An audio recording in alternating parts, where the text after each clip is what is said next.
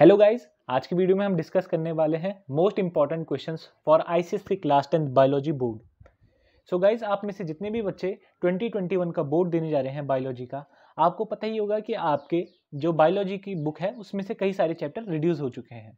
अब जो आपके पास चैप्टर आ रहे हैं, वो है पहला तो cell structure of chromosomes absorption by roots transpiration photosynthesis circulatory system excretory system nervous system sense organ and endocrine system so guys ये सारे चैप्टर्स ही आपके पास एग्ज़ाम में आ रहे हैं। तो आज की वीडियो में आपको चैप्टर वाइज इंपॉर्टेंट क्वेश्चंस बताने वाला हूँ कि किस चैप्टर में से कौन कौन से जो क्वेश्चंस हैं वो इंपॉर्टेंट है और जिनकी प्रोबेबिलिटी ज़्यादा है कि वो एग्ज़ाम में आपसे पूछे जाएँ। तो चलिए गाइज़ बिना टाइम वेस्ट करते हुए डायरेक्टली शुरू करते हैं। सो so गाइज़ सबसे पहले बात करते हैं स्ट्रक्चर ऑफ़ क्रोमोजोम्स की। सो so गाइज़ इसमें जो आपने देखा होगा, इस वाले चैप्टर में से अगर आपने टेन ईयर रिवाइज करी होगी तो आपको पता होगा कि फेजेस आइडेंटिफिकेशन का क्वेश्चन ज़रूर आता है। इसमें आपको फेजेस आइडेंटिफाई करने को दे देंगे। जो आपका बायोलॉजी का पेपर है, एक तो ए पोर्शन रहता है और दूसरा बी पोर्शन रहता है। जो बी पोर्शन रहता है, उसमें आपको डायग्राम बेस्ड क्वेश्चन रहते हैं बायोलॉजी में। इसमें से ये आपको सारे जितने भी डायग्राम्स दे रखे हैं, आपको कोई भी डायग्राम दे दिया जाएगा और उसकी स्टेज आइडेंटिफाई करने को कहा जाएगा। सपोज़ ये डायग्राम दे देंगे और पूछेंगे आपको कि ये कौन सा, इसमें कौन सी स्टेज को रिप्रेजेंट कर रहा है। तो आप लिखेंगे प्रोफेज ठीक है? ऐसे ही आपको कोई भी डायग्राम दे सकता है। सेल्स आइडेंटिफाई करने को आ सकती है। गाइस सेल्स आइडेंटिफिकेशन में मेन चीज़ क्या ध्यान रखनी है? अगर रेक्टेंगुलर शेप में है तो वो क्या होगा आपका हमेशा? प्लांट सेल अगर सर्कुलर शेप में है, हमेशा क्या होगी? एनिमल सेल्स होंगी। ठीक है? मैंने आपको इसमें से बता दिया मेन और मोस्ट इंपॉर्टेंट तो यही है इस चैप्टर में से कि आपको फेजेस को आइडेंटिफिकेशन करने को आता है कि ये कौन सी फ़ेज़ है, इस फ़ेज़ के बारे में बताइए। इससे पहले या इस फ़ेज़ के बाद कौन सी फ़ेज़ आती है और जो आपको डायग्राम दे रखा है, उसमें से स्ट्रक्चर का आइडेंटिफाई करने को भी पूछा जाता है। ठीक है? सो so गाइज़ ये तो था most important question from structure of chromosomes साथ ही साथ गाइज़ इसमें से अगर कई बार आपको ए पोर्शन में ये भी पूछा जाता है कि माइटोसिस और मियोसिस में क्या क्या डिफरेंस है और जो इसका लास्ट इंपॉर्टेंट है, वो है कि सेल साइकिल्स की फेजेस आपको सेल साइकिल की सारी फ़ेज़ को ढंग से याद कर लेना है गाइज़ कि उनकी कितनी फेजेस होती हैं नॉन डिवाइडिंग फ़ेज़ कितनी होती है और डिवाइडिंग फ़ेज़ कितनी होती है। ठीक है? ये सब आपको डिटेल में याद कर लेना है। क्योंकि अगर आप एक बार ये याद कर लेंगे तो आपको इसे समझने में भी ज़्यादा देर नहीं लगेगी और ये भी आपको आसानी से समझ में आ जाएगा। तो ये तीनों चीज़ें थी गाइज़ आपके स्ट्रक्चर ऑफ़ क्रोमोजोम्स चैप्टर में। सो so गाइज़ अब बात करते हैं अगले चैप्टर एब्जॉर्प्शन बाय रूट्स की। सो so गाइज़ मैं आपको डायरेक्टली एक्सरसाइज पोर्शन से ही बताने वाला हूँ कि इसमें से क्या क्या इंपॉर्टेंट है। सबसे पहले गाइज़ एक ये वाला डायग्राम जो आपको दे रखा है, जिसमें प्लांट सेल्स रिप्रेजेंट करी है, इसमें कई बार इसके पार्ट लेबल करने को आता है और इसकी स्टेट पूछी जाती है कि कौन सी स्टेट है, ठीक है? और इसकी सारी कंडीशंस के बारे में पूछा जाता है। एक तो ये। दूसरी चीज़ क्या है गाइज़ आपको सारे एक्सपेरिमेंट ढंग से पढ़ लेने हैं। जैसे यहाँ पे दिया है, ऐसे कोई भी आपको एक्सपेरिमेंट का सेटअप दे दिया जाएगा और उसके अकॉर्डिंग आपको क्वेश्चंस पूछे जाएँगे, ठीक है? और गाइज़ इसमें दो इंपॉर्टेंट चीज़ें आती हैं। एक तो ये, अगर आपके, हो सकता है चांसेस हों कि आपके प्री बोर्ड में भी ये वाला क्वेश्चन ज़रूर आया हो। सो so गाइज़ इस वाले क्वेश्चन में, यहाँ पे आप देख सकते हैं, ये मैं फोकस कर रहा हूँ। सो गाइज़ यहाँ पे जो आपको टेस्ट ट्यूब वाला एक्सपेरिमेंट है तो इस वाले का भी बहुत ज़्यादा चांसेस हैं गाइज़ कि आपके एग्ज़ाम में आपको पूछा जाए। ठीक है? एक ये और दूसरा। यहाँ पे क्या है गाइज़ आपको तीनों बीकर दिए गए हैं। ये 2014 में भी ये क्वेश्चन आ चुका है। इसमें आपको बताया गया है कि जब हम इस वाले बीकर में किसी भी सेल को रखते हैं तो उसमें साइज़ इंक्रीज हुआ, यहाँ पे साइज़ डिक्रीज हुआ, यहाँ पे साइज़ सेम रहा। तो ये कौन सा सॉल्यूशन होगा, ये कौन सा होगा और ये कौन सा होगा, ठीक है? तो आपको आइडेंटिफाई करना है गाइस कौन सा हाइपरटोनिक है, कौन सा हाइपोटोनिक है और कौन सा आइसोटोनिक है, ठीक है? गाइज़ यहाँ पे मैं कोई भी कंसेप्ट एक्सप्लेन नहीं कर रहा हूँ, क्योंकि मैंने ये सारे कंसेप्ट ऑलरेडी अपने चैप्टर के एक्सप्लेनेशन में करे हुए हैं। तब भी अगर आपको कोई डाउट आता है तो आप मुझे कमेंट कर सकते हैं। सो so गाइज़ हमने इस चैप्टर का भी देख लिया कि इसमें क्या क्या इंपॉर्टेंट है? अगला आता है हमारा ट्रांसपीरेशन गाइज़ ट्रांसपीरेशन चैप्टर जो है, इसमें आपको एक मेन ध्यान जो है पोटोमीटर का रखना है। एक पोटोमीटर का, जितने भी आपके पोटोमीटर हैं, आपको उसकी फंक्शनिंग समझ लेनी है। उस डिवाइस का काम क्या है आपको? ये भी उसके साथ साथ समझ लेना है। ठीक है? एक ये वाला आपके जितने भी एक्सपेरिमेंट्स हैं। सो गाइज़ मैं आपको वापस से एक्सरसाइज पोर्शन में से ही समझा देता हूँ। गाइज़ एक ये वाला। ये 2015 में आपसे पूछा गया है। ये बहुत ही इंपॉर्टेंट है। इसमें आपको सेम सेटअप दे दिया जाएगा और इसके बेसिस पे आपसे क्वेश्चन पूछे जाएँगे कि एक पॉटेड प्लांट को कवर करा हुआ है एक शीट से। एक तो ये वाला क्वेश्चन दूसरा गाइज़ ये वाला क्वेश्चन ये भी आपको 2014 में पूछा गया है। ये फिगर बेस्ड क्वेश्चन है गाइस जिसमें वेइंग मैकेनिज्म के बारे में आपसे डिस्कस किया है। ये भी मैं ऑलरेडी आपको अपनी वीडियोस में एक्सप्लेन कर चुका हूँ। बस आपको मैं मेन मेन क्वेश्चंस बताना चाह रहा हूँ कि इनमें कौन कौन से क्वेश्चंस मेन है। एक तो गाइस पॉटेड प्लांट वाला, दूसरा वेइंग स्केल वाला, तीसरा है गाइस पोटोमीटर का। मैंने आपको पहले भी बोला और अभी भी बोल रहा हूँ पोटोमीटर का क्वेश्चन भी आपके लिए इंपॉर्टेंट है गाइस ठीक है? तो ये तो थे इंपॉर्टेंट क्वेश्चन ट्रांसपीरेशन चैप्टर के। अब बात कर रहे हैं गाइस फोटोसिंथेसिस चैप्टर की। तो इसमें से सिर्फ़ दो एक्सपेरिमेंट ही इंपॉर्टेंट है आपके लिए।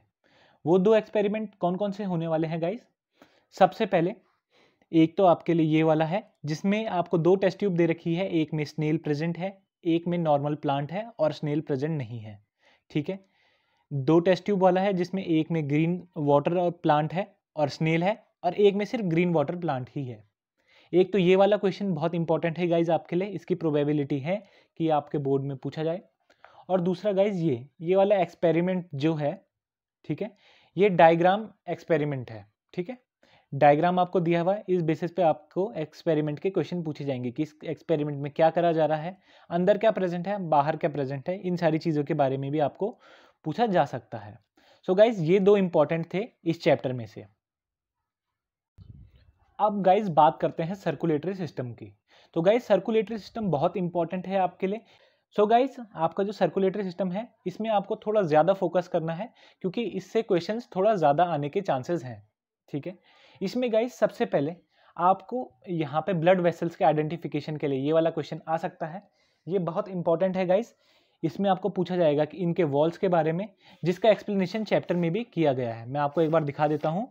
ये रहा गाइज़ यहाँ पे मैंने अपनी वीडियो में भी इस पर मेन फोकस किया था। यहाँ पे भी मैं आपको बता रहा हूँ, ये बहुत इंपॉर्टेंट है बोर्ड पॉइंट ऑफ़ व्यू से, ठीक है? आपको तीनों ब्लड वेसल्स के बारे में पूछा जाता है और उनकी वॉल्स के बारे में क्वेश्चन आते हैं। दूसरा पंपिंग ऑफ़ हार्ट हार्ट के स्ट्रक्चर कहाँ से ब्लड जा रहा है, कहाँ से बाहर निकल रहा है, इस पूरे स्ट्रक्चर्स पे भी क्वेश्चन आते हैं, ये इंपॉर्टेंट है आपके लिए, ठीक है? और तीसरा गाइस ये gases exchange gases exchange arteries और कैपिलरीज के बीच सॉरी आर्टरीज और वेन्स के बीच में कैपिलरी के थ्रू जो हो रहा है, ये तीनों जो हैं, बहुत इंपॉर्टेंट क्वेश्चन है इस चैप्टर में से। ठीक है? तो गाइज़ यहाँ पे एक चीज़ आ जाती है, या तो आपको ये वाला क्वेश्चन पूछा जाए, या फिर आपको ये वाला क्वेश्चन पूछा जा सकता है, जिसमें आपको सेल्स के कंटेंट के बारे में पूछा गया है कि इसके अंदर क्या क्या कंटेंट प्रेजेंट है। ये वाला तो गाइज़ अगर आपने सेल वाला चैप्टर ढंग से पढ़ लिया तो उसके अकॉर्डिंग भी आप इन सब के आंसर्स दे सकते हैं। जो कि cell structural and functional unit वाला था, जिसमें आपको पूरी टेबल में डिफरेंट पार्ट ऑफ़ सेल्स को एक्सप्लेन किया गया है। तो अगर आपने वो वाला चैप्टर ढंग से पढ़ा है तो इस क्वेश्चन को आप ऑटोमेटिकली ही सॉल्व कर सकते हैं आराम से। ठीक है? अब बात करते हैं गाइस एक्सक्रीटरी सिस्टम की। गाइस या तो आपको किडनी स्ट्रक्चर के बारे में पूछ दिया जाएगा, या तो आपको नेफ्रॉन्स के बारे में पूछा जाएगा, या फिर बोमेंस कैप्सूल के बारे में पूछा जाएगा। ये तीनों गाइज़ बहुत इंपॉर्टेंट है, क्योंकि आपको क्या ध्यान रखना है, हमारा चैप्टर का नाम ही है एक्सक्रीटरी सिस्टम एक्सक्रीटरी में क्या क्या आएगा? हमारी मेन किडनीज है। किडनीज के अंदर मेन क्या है? हमारे नेफ्रॉन्स है। नेफ्रॉन के अंदर क्या? बोमेंस कैप्सूल है। तो ये तीन चीज़ें आप खुद भी अंदाज़ा लगा सकते हैं, ये कितनी इंपॉर्टेंट होने वाली है। ठीक है? और इनमें से जो ये वाला स्ट्रक्चर है, ये 2014 में भी आपको पूछा गया है। तो आप इसे अंडरलाइन कर लेंगे। एक ये वाला आपका नेफ्रॉन का, दूसरा किडनीज का। ठीक है? और तीसरा, आपका बोमेंस कैप्सूल का। ये इंपॉर्टेंट है इस चैप्टर में से। अब बात करते हैं नर्वस सिस्टम के क्वेश्चंस की। गाइस नर्वस सिस्टम में क्या है? आपको या तो नर्व सेल का डायग्राम बनाने को आ जाएगा, या फिर इस डायग्राम के आपको बताने पड़ेंगे पार्ट्स को लेबल करना पड़ेगा। ये डायग्राम बहुत ही ज़्यादा इंपॉर्टेंट है, ठीक है? एक तो ये वाला हो गया। और दूसरा गाइज़ आपके ब्रेन के पार्ट्स के बारे में आपको पूछा जा सकता है। ये वाला भी आपका बहुत इंपॉर्टेंट है ब्रेन वाला जो भी पोर्शन है। इसमें आपको पूछ देगा सेरिब्रम कहाँ पे है सेरिबेलम कहाँ पे मेडुला ओब्लंगेटा कहाँ पे है। ठीक है पार्ट्स लेवल करने को आ सकते हैं। ठीक है? उसके बाद गाइज़ इसमें जो लास्ट इंपॉर्टेंट चीज़ है, वो है रिफ्लेक्स वाला सिस्टम ये वाला जो पूरा आपका डायग्राम है, ये आपको प्रोग्रेस चेक में भी दे रखा है, अगर आपने चैप्टर के लास्ट में ध्यान दिया होगा। ये वाला है गाइस तो ये डायग्राम इंपॉर्टेंट है, ये बोर्ड में भी पूछा जा सकता है। एक ये हो गया मेन इसमें से नर्व सेल और पार्ट्स ऑफ़ ब्रेन है और तीसरा, जो कि थोड़ा कम इंपॉर्टेंट है, मगर चांसेस है, वो ये है आपका रिफ्लेक्स वाले का। ठीक है? अब गाइस ये तो था हमारा नर्वस सिस्टम का। अब बात कर लेते हैं अपने नेक्स्ट चैप्टर सेंस ऑर्गन्स की। सो गाइस सेंस ऑर्गन्स का, जैसे हमें इसका भी नाम से ही पता चल रहा है मेन आई का स्ट्रक्चर आपको दिया जा सकता है। और गाइज़ आई के स्ट्रक्चर में भी मेन आपको आई डिफेक्ट्स के बारे में दिया जा सकता है। आपको आइडेंटिफाई करना रहता है कि ये वाला आई डिफेक्ट कौन सा है और ये वाला आई डिफेक्ट कौन सा है। इनके करेक्शन के वेज भी आपको पूछे जाते हैं और रीज़न पूछे जाते हैं कि ये आई डिफेक्ट क्यों होता है और कैसे ठीक किया जा सकता है। ठीक है? एक तो आई डिफेक्ट का हो गया। और गाइज़ उसके बाद मोस्ट इंपॉर्टेंट जो है सेकेंड क्वेश्चन वो है आपका स्ट्रक्चर ऑफ़ एयर का। इसमें आपको कोई भी स्ट्रक्चर जो है डिटेल में दे सकते हैं। या तो आपको मिडिल एयर का दे दे, या फिर इनर एयर का दे सकते हैं। मगर आपको स्ट्रक्चर ऑफ़ एयर भी डिटेल में पढ़ना है। इसकी भी मैंने अलग से वीडियो बनाई है, आप वो जाके देख सकते हैं। तो इस चैप्टर में से हमारा क्या क्या इंपॉर्टेंट निकल के आया? कि एक तो आई का स्ट्रक्चर दूसरा हमारे एयर का स्ट्रक्चर जिसमें हमें एयर्स के बारे में बताया गया है। सो so गाइज़ मैं आपको कोई वेटेज वाइज नहीं बता रहा हूँ, मैं आपको सिर्फ़ इंपॉर्टेंट क्वेश्चंस बता रहा हूँ। इसे आप अंडरलाइन करते जाइए या कहीं पे नोट कर दीजिए, ठीक है? क्योंकि ये आपके लिए इंपॉर्टेंट रहने वाला है। एक तो गाइज़ ये हो गया, अब आता है हमारा एंडोक्राइन सिस्टम या तो गाइज़ आप थायराइड ग्लैंड का आ सकता है आपके पास क्वेश्चन या फिर ये ह्यूमन बॉडी का आ सकता है। इसमें क्या है गाइज़ इसमें आपको ह्यूमन बॉडी में बताए गए हैं अलग अलग पार्ट्स ड्रॉ किए हैं। आपको बताना है कि यहाँ पे कौन कौन से ग्लैंड्स लोकेटेड हैं, ठीक है?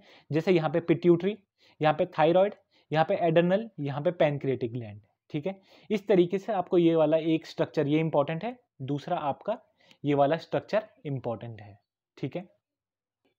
सो so गाइज़ ये थे हमारे पूरे बायोलॉजी के कोर्स में से मोस्ट इंपॉर्टेंट क्वेश्चंस गाइज़ आप इसके अलावा अगर टेन ईयर में से भी देखेंगे, जो मैंने आपको चैप्टर में बताया आई होप आपको वो समझ में आ गया होगा। अगर आपको गाइज़ कहीं पे भी दिक्कत है तो आप मुझे कमेंट सेक्शन में बता सकते हैं। अपना फीडबैक देना मत भूलिएगा गाइज़ ज़रूर मेरे को कमेंट सेक्शन में बताइए कि आपको वीडियो कैसी लगी, ठीक है? दूसरी चीज़ गाइज़ आप टेन ईयर की अगर बुक खोलेंगे, आप कहीं पे भी सर्च करेंगे तो आपको मोस्ट इंपॉर्टेंट क्वेश्चंस में से सिर्फ़ ये क्वेश्चंस मिलेंगे। अगर आपको कोई और क्वेश्चन मिलते हैं जिसमें आपको डाउट आता है तो आप मुझे वो कमेंट सेक्शन में पूछ सकते हैं। So thank you guys for watching my video मिलते हैं अपनी नेक्स्ट वीडियो में।